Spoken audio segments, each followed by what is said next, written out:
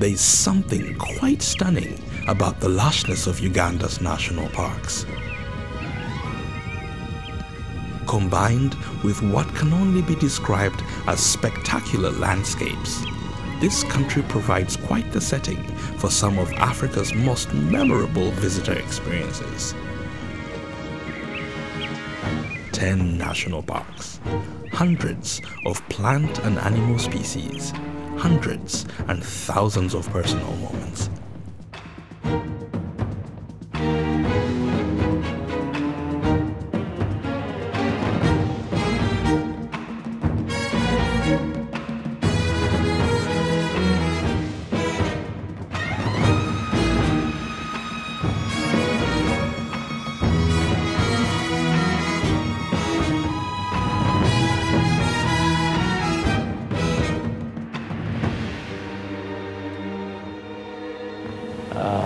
Uganda, despite being only about 0.1% of the landmass of the world, has 17% of its biodiversity.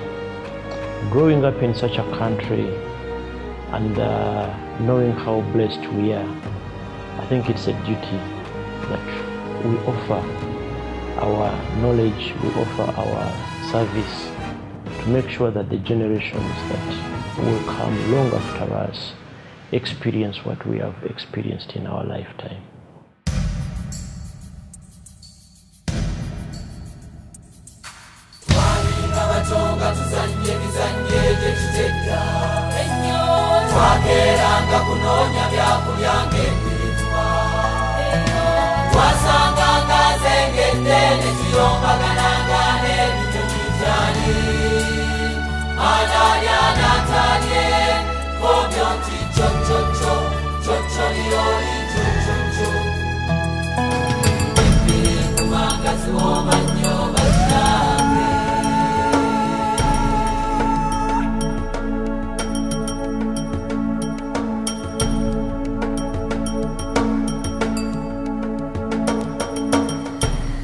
Um, I feel like at the moment my eyes are seeing things, but it's going to take me even weeks or months before I even begin to process how much of an amazing experience it's been.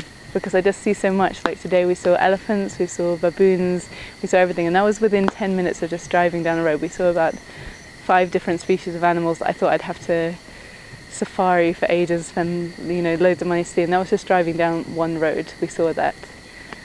So at the moment, I just feel really lucky.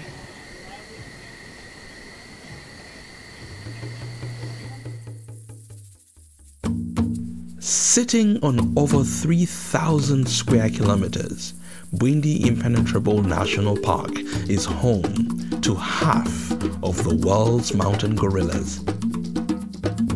As part of the same ecosystem that the Mgahinga Gorilla National Park belongs to, this impenetrable forest is also the oldest and most biologically diverse rainforest in the world.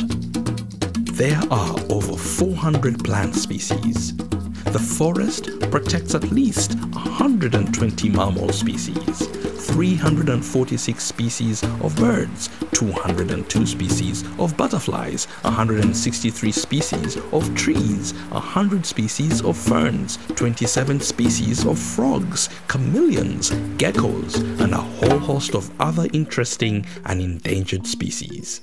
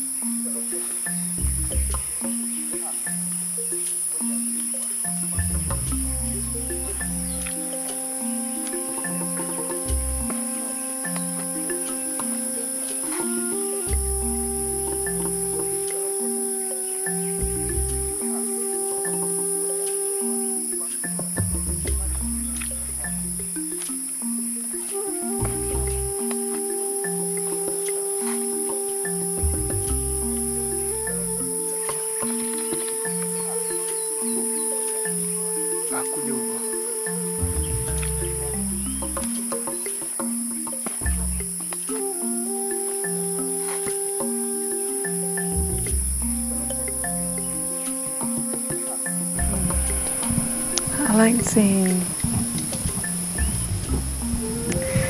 You know the way they're like humans. I like seeing the way the males behave quite a lot like human males, and the females behave just the same, like with their babies. They cuddle them just like that. The men, they're kind of they're flexing, trying to show like every movement they do is like testosterone charged. so, and they even make some sounds that sound like humans. Like when you hear them say eh eh. when there's no more diseases killing gorillas, we think the future for gorillas is bright and sustainable.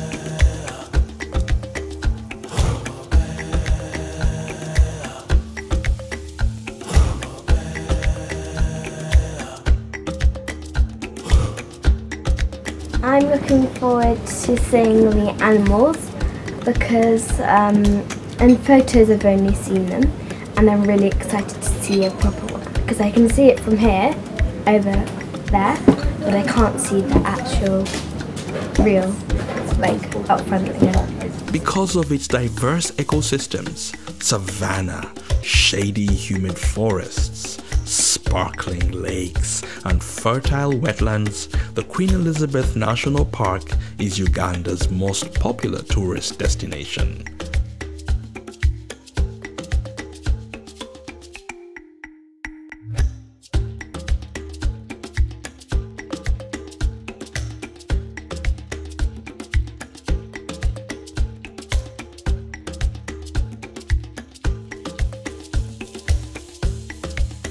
Aside from its fascinating heritage, the park has the jagged Ruwenzori Mountains as a backdrop. And there are dozens of enormous craters carved dramatically into rolling green hills.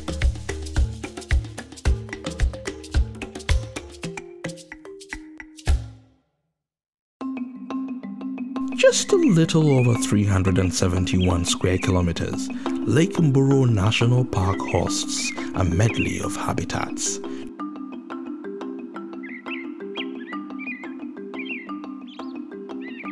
Dry hillsides, rocky outcrops, bushy thickets, open and wooded savannas, forest, lakes, and swamps. Its sculpted landscape rolling hills and idyllic lake shores support a wildlife treasure trove, remarkably different from all other parks because of the gigantic eland, impala, zebras, and acacia associated birds. We emphasize customer care and visitor satisfaction. So in terms of accommodation, in terms of visitor service provision, in terms of uh, visitor handling, we The five lakes within the park attract hippos and crocodiles, and of course, an impressive 332 bird species.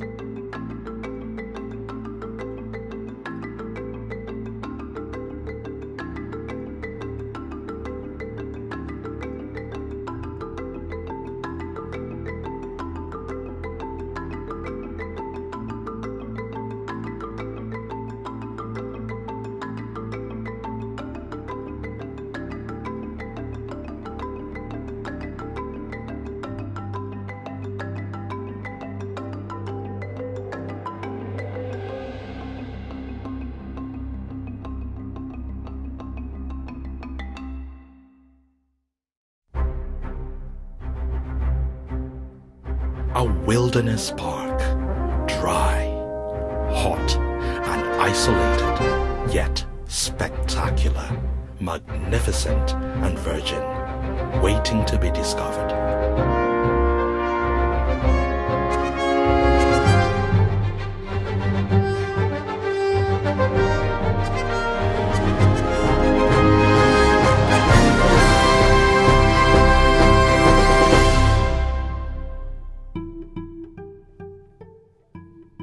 Uh, there are many, many areas you can go and see animals. You see different species in some areas, but Kidepo Valley National Park has the unique species of wildlife.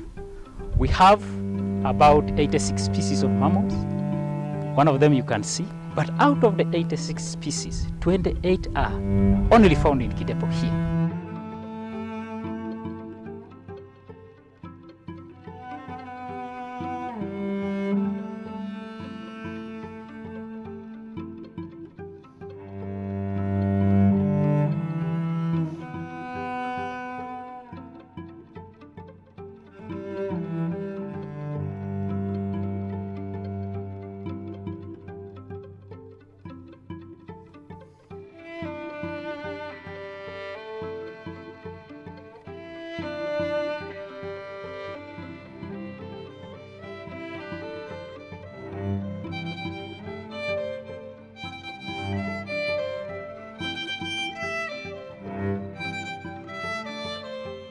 You need to be here, Karen. You need to see this park, the elephants, the herds of elephants, the buffalo. You'd, you'd love it. You'd absolutely love it. It's just special, it's raw, it's untouched. It's just a beautiful, beautiful place to be. Beautiful place to be. I can't, I can't, I couldn't explain it. I just, you have to see it for yourself.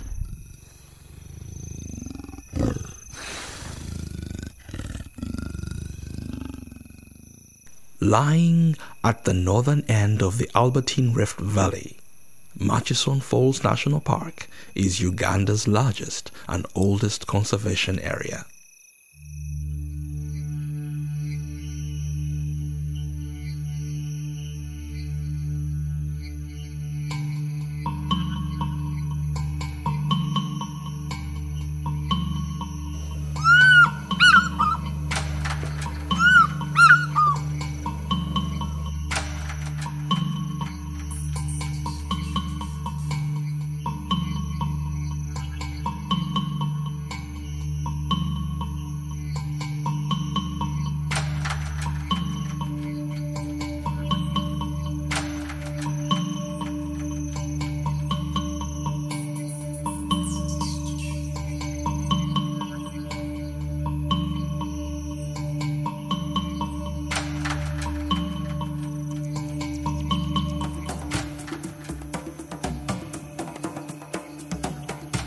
One of the most remarkable things about this park is its centerpiece, the Murchison Falls.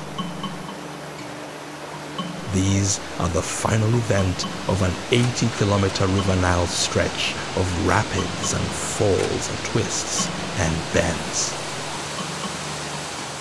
At the Murchison Falls, the Victoria Nile squeezes through an 8 meter wide gorge, plunging with a thunderous roar into the Devil's Cauldron.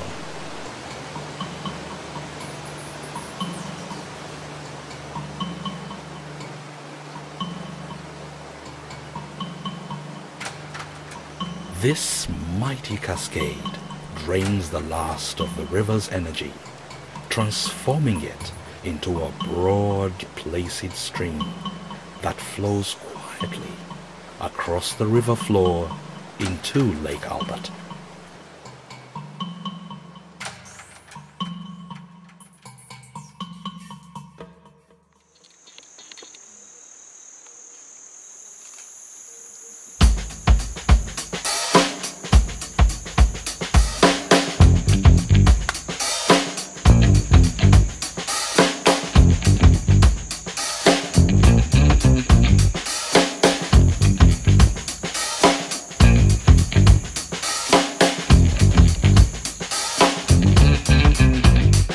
Kibale National Park is an exceptional because uh, uh, first of it is a forested park, so the biggest percentage of it is only trees.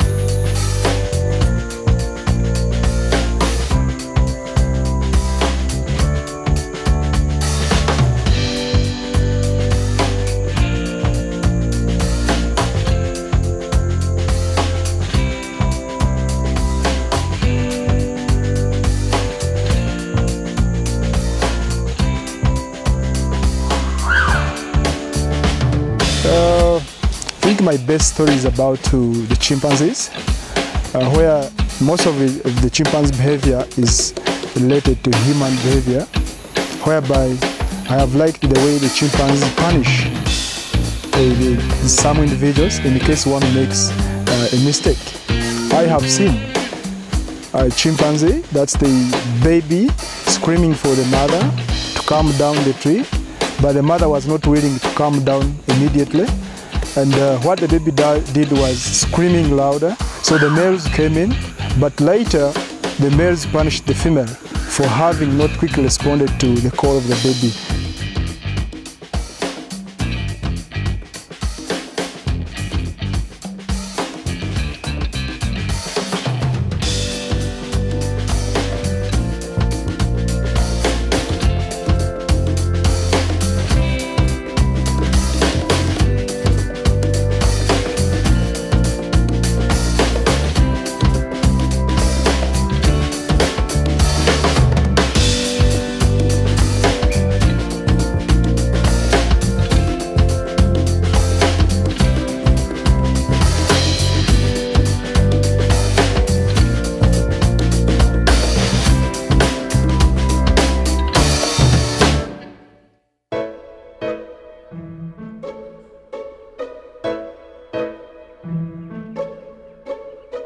Semuliki National Park sprawls across the floor of the Semuliki Valley on the remote western side of the Ruwenzori.